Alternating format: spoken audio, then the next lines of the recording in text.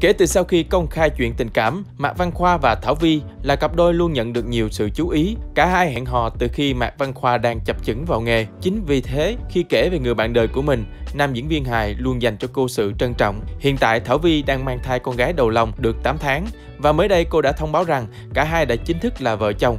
Cặp đôi đã đi đăng ký kết hôn vào ngày 2 tháng 12 hay là lên phường ta đăng ký kết hôn liền.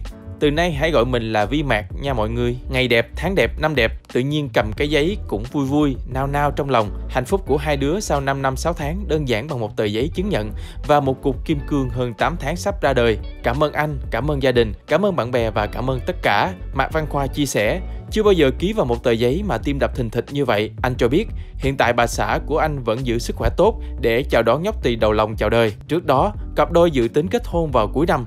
Thế nhưng do tình hình dịch bệnh nên đám cưới đã được hoãn lại. Trước đó, bà xã của Mạc Văn Khoa từng suy sụp khi được chẩn đoán là khó mang thai. Nam diễn viên phải an ủi rằng con cái là cái duyên của trời. Cả hai sau đó đã vô cùng hạnh phúc khi biết tin đã có em bé. Con ơi, con sinh ra trong một năm đại dịch, nhưng nó sẽ càng làm con mạnh mẽ thêm, con nhỉ. Bố mẹ sẵn sàng hết rồi, chỉ chờ ngày con chào đời thôi.